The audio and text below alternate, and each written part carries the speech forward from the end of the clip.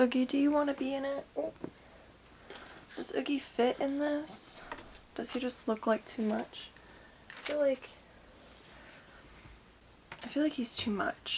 Hi guys, so in today's video I have a very exciting, at least it's a, it's personally, it's like really personally exciting. It's not even that I'm just excited to show it to you. And I feel like all my videos I'm excited because I am excited when I film.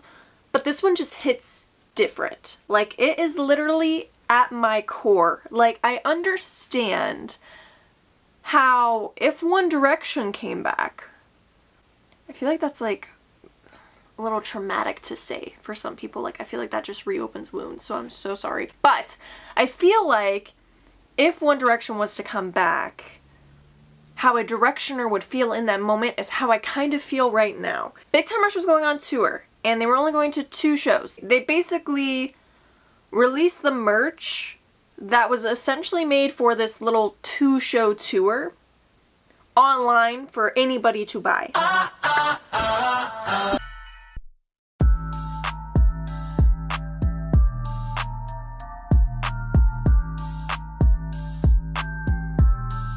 Do y'all remember when you could go to Walmart and there was like 20 billion Justin Bieber t-shirts you could buy like a lot of Justin Bieber t-shirts and your girl had like every single one.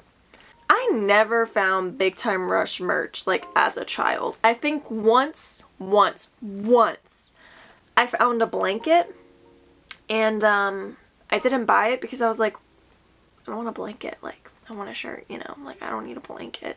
22 year old me wishes that I bought that blanket because I would totally still be using it to this day, without a doubt. But Big Time Rush was my boy band. Like, I loved Big Time Rush. And I never had cable television. I didn't have anything. So my dad would rent the DVDs from the library when he saw there was a new Disney or a new Nickelodeon thing.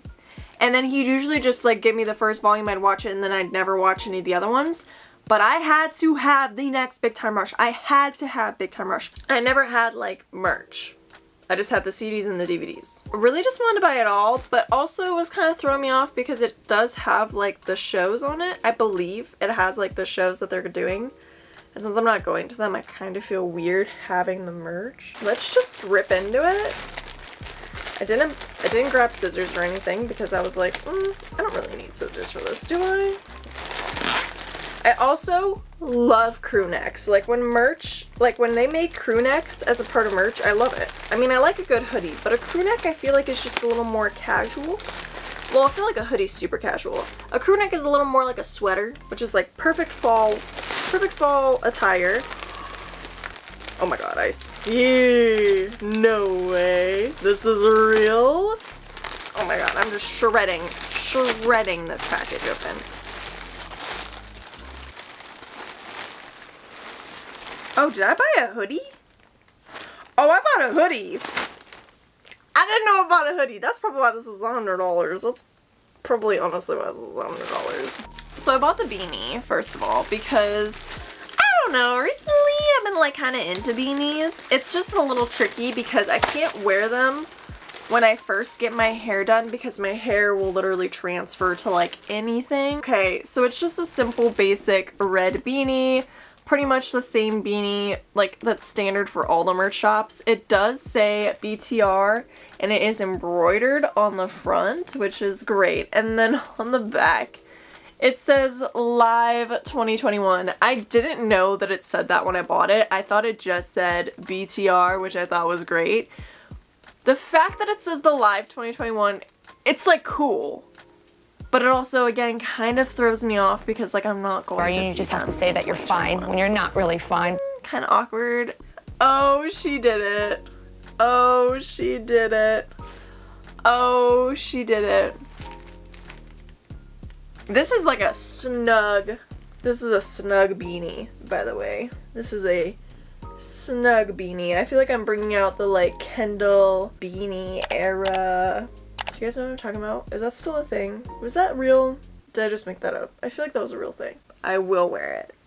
Because I feel like the red and green is also such like a holiday vibe. Like I have to wear red greeny with my hair. Oh, shut up. This is so cool. I also feel like this is going to totally just like pop off in the wash. I'm like so scared to, yeah, it's like literally cracking.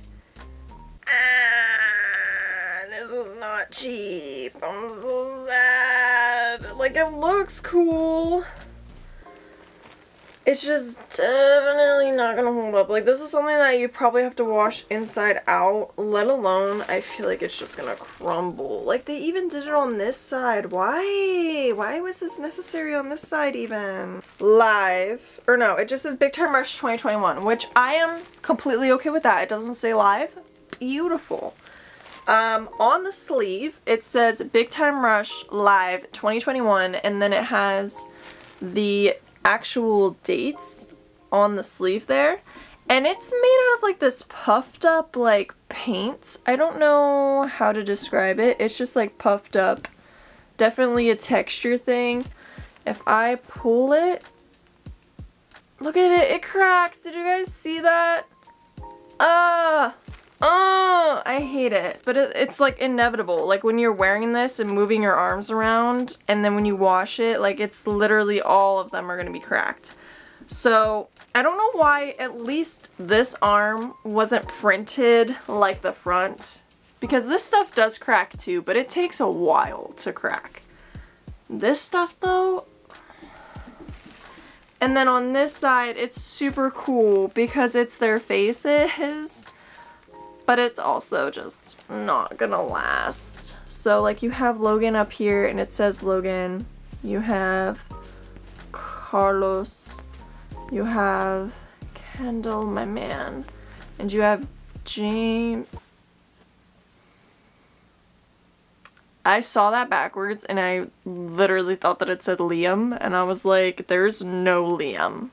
That sucks. I wonder like as it like chips off though if the fabric underneath is gonna like have the dye left over from this puffiness. The crew neck. Which looks perfect and it's red. Ah, so excited. yes, yes, yes, yes, yes queen.